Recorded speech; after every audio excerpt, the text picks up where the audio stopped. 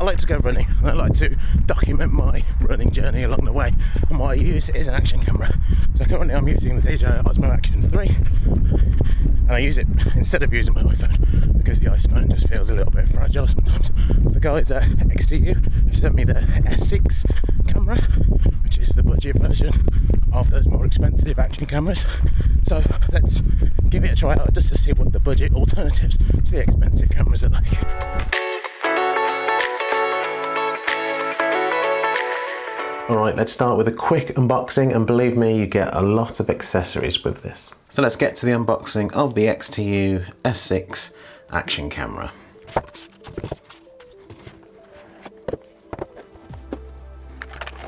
So we'll get to the S6 action camera in a moment.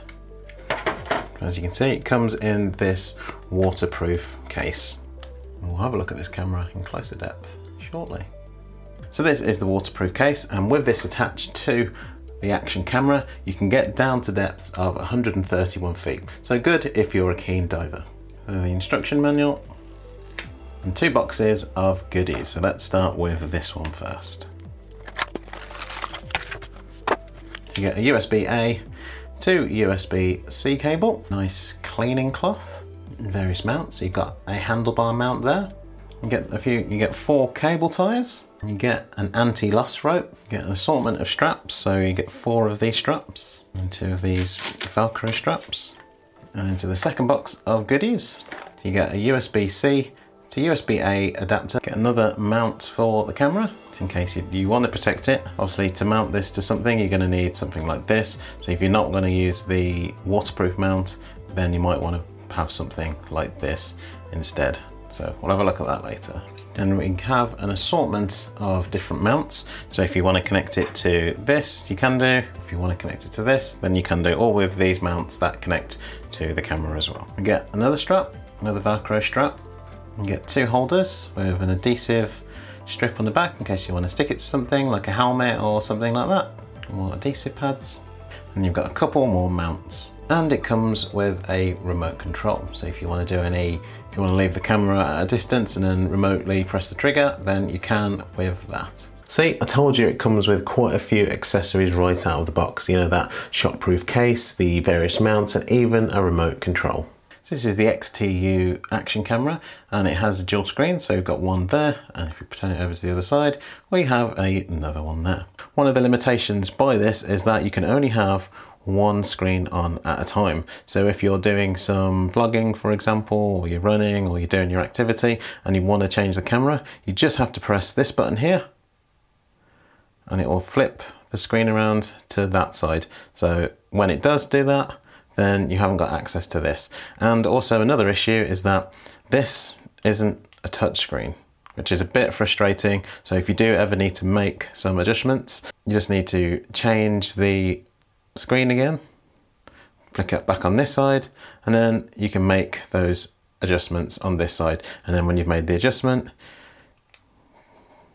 flick the screen round, and then you're back onto it again. This feature is available on XTU's Max 2 action camera. It's definitely a feature that you can quickly become frustrated by, particularly if, like me, you're used to using something of a more premium offering where both screens can be on and are both touchscreens as well. Another one of my frustrations with this is that it doesn't do automatic orientation. So you might want to go from landscape to portrait, but it doesn't correct automatically. So what you have to do is just change, manually change the orientation.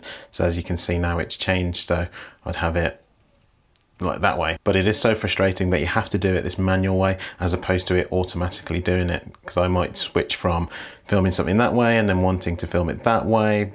And then, you know, having to, it's a very it's a lot of manual processes within this camera. Let's talk about battery life, crucial for anyone wanting to use this for long periods. This camera has a 1350 milliamp hour battery, which gives you about 90 minutes of continuous recording in 4K and up to 150 minutes recording in 1080 30 frames per second. Pretty standard for action cameras in this category, and it's always a good idea to carry a spare battery just in case, which is also available to buy from XTU. You also get a 64 gigabyte micro SD card. So with some action cameras, you do have to purchase them separately, but with this one, XTU throw it in with it as well. It features a H22 CPU chip and a Sony IMX 386 CMOS sensor. And then on this side, you have under this this uh, release here, you have a USB-C port and a micro HDMI port, as well as a speaker.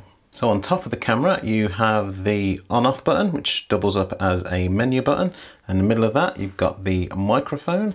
And on the right-hand side, you have the start-stop recording button, which doubles up as the switch screens button. And then on this side, you have your up-down buttons, which obviously control various things within the menu.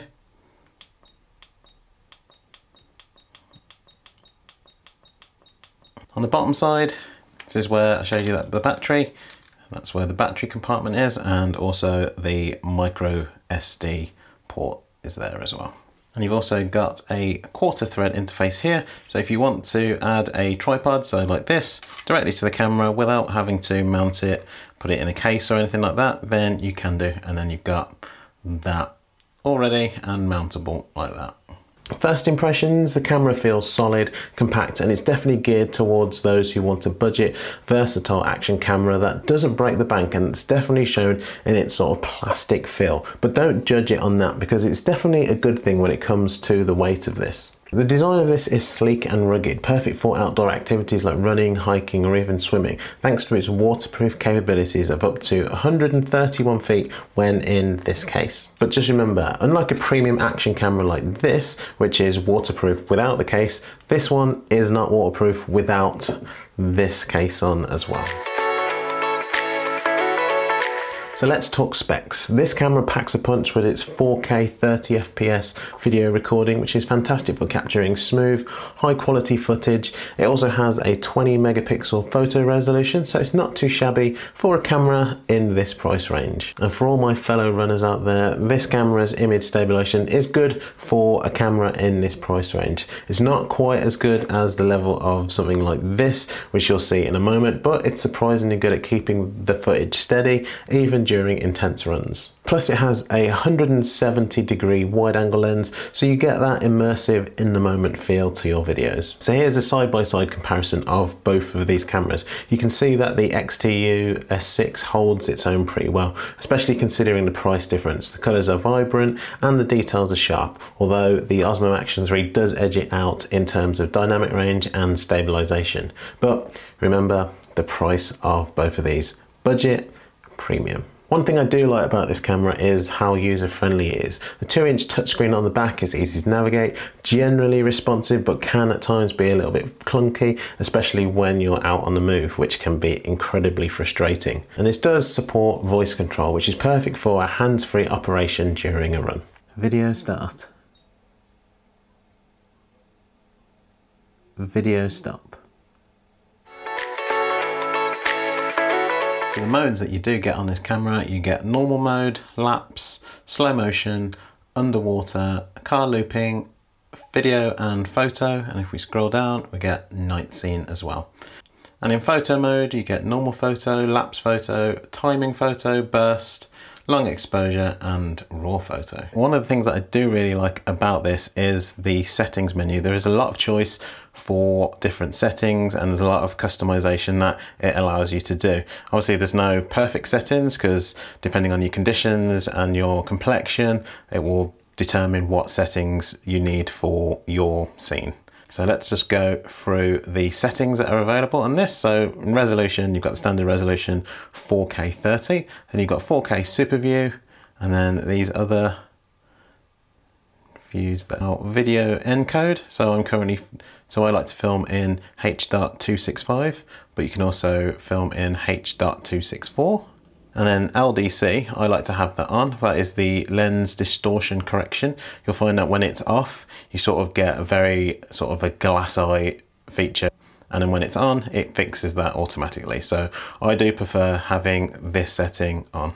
Then you've got gyro electronic image stabilization, which currently set to normal, but you also have off, normal, super, and gyro data. Now gyro data lets you use an app, I think it's called gyro data, that allows you to control the amount of stabilization that is corrected within the app itself. Then some of the things that I would really like to be on the Osmo Action, like meter mode, center, average and spot, it's definitely features I'd love to have on that action camera. Then you can change your exposure, your ISO, all the way up to 1600. Then your white balance, you can't set it to a figure, just these predetermined settings here. So daylight, cloudy, tungsten, and then you've got that one there. And then you've got scene mode, so auto, personage, scenery, and defog. And then sharpness, high, medium, and low. And you can change the contrast, brightness, and saturation of your picture. And then image quality, high or standard. Filter, whether you only want to change any of these things. Black and white, colourful, brown, warm, cold. And pre-recording. And those are the settings for your normal video. Now with the XTU Go app, you can control the camera. So, but you do have to, the only way to connect to the camera is via Wi-Fi. So let me just connect the Wi-Fi there. Now I'm connected, so I can either view the files or enter the camera. Every setting that you do get on the camera itself, you can use via the app here. And then you can also view the files that you've taken from this camera and then you can download them. I have found that getting the footage from the camera onto your phone can take a bit of time. So just be a bit wary if you are, if you do have big files because it will take some time. But you can always, I've got an iPhone 15 Pro here, you can always stick take the memory card out of this and then put it, connect it to the phone and it's a lot quicker to get it off the camera onto your phone. Now let's go and see the XTU S6 camera in action.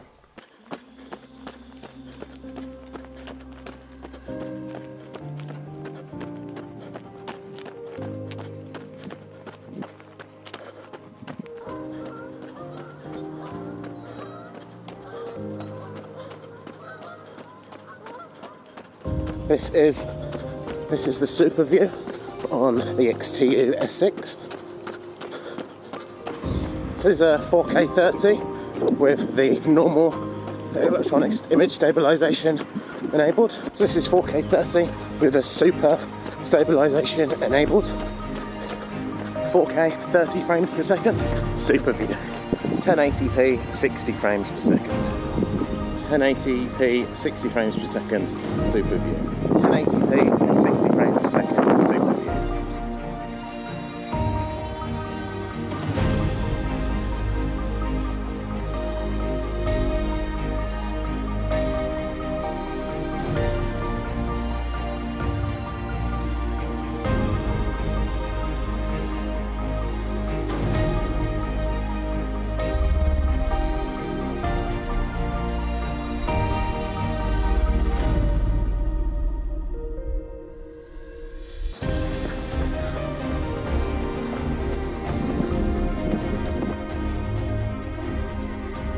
stabilisation on both cameras. Both cameras held at arm's length. This is what the video quality with the XTU S6 looks like with no electronic stabilisation enabled.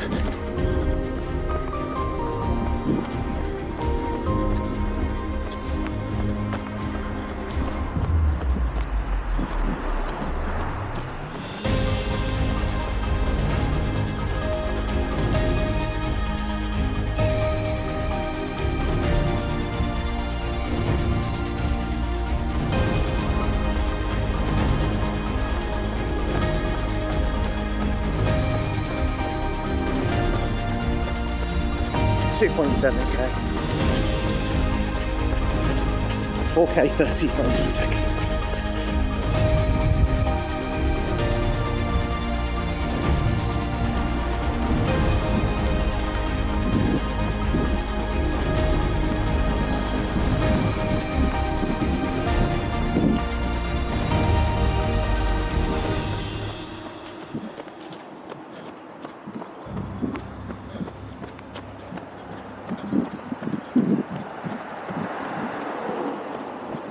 Stabilisation on both cameras with both cameras held at arm's length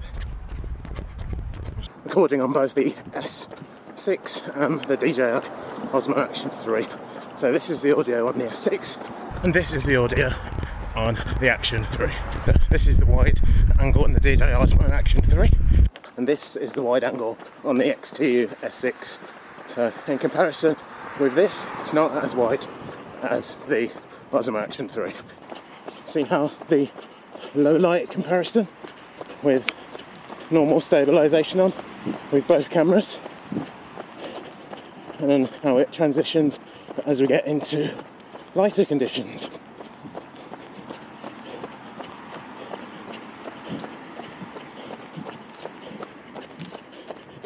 Let's see how it adjusts to the lighter conditions. So we're now in the lighter conditions. So that's the XTU S6 camera. My main problem with this is this. When you've got one of these, something like the DJI Osmo Action 3, and you compare it to this, then those differences between this and this really do stand out. This is actually a good camera, and I was struggling to do this video because I've used this first. But in hindsight, this is a good camera for the price. This essentially brand new was three times the cost of this, but as this uh, at the budget end of the spectrum at around about $100 or £100, this is actually a good quality camera. And it was probably a little bit too harsh of me to judge the, the XTU by the standards that I've been used to with the Action 3. So taking this on, the, on its merit, this is actually a really good camera for its price. So who is this XTU S6 for? If you're someone who loves outdoor activities, whether it's running, cycling, swimming, or even vlogging your adventures, this camera is a solid option. It's especially great if you're on a budget, but still want to capture good quality footage. It's perfect for runners like me who want a reliable camera without spending a fortune. Sure, it might not replace a premium camera like the DJI Osmo Action 3, but for the price, it's an impressive piece of gear. So after putting the XTU S6 through its paces, it's clear that while it does a lot of things well, it's definitely noticeable the differences in picture quality when you've used a premium action camera like this one, or even a newer smartphone like an iPhone or something like that. The dynamic range isn't quite as sharp and in challenging lighting conditions, which affects a lot of action cameras, you might see some loss in detail or color accuracy. But that said, if you can overlook that and you're shooting in good lighting conditions, then this camera performs just fine in most casual uses. For the price point, it's still a solid choice if you're looking to document your runs or outdoor activities without spending a lot of money. So, would I recommend it? Yes, as long as you keep your expectations in check when it comes to video quality. And XTU on their marketing for this sum it up perfectly. This is your ideal first action camera providing you don't go straight to the premium one like I did. For the right person, especially if you're on a budget, then the XTU S6 can get the job done. And with all the accessories that you get with this as part of the bundle, which you've got to remember, if you get a premium action camera, you would have to pay additionally for. If top tier footage is a priority, you might want to stick with something like the DJI Osmo Action or your phone. But then you'll be paying a premium for those options. Many thanks to XTU for providing this action camera for me to test and review. It's greatly appreciated. If you like it, I'll leave a link in the description below. And if you like this video, give it a thumbs up and subscribe to the channel for more videos just like this. And I'll see you in the next one.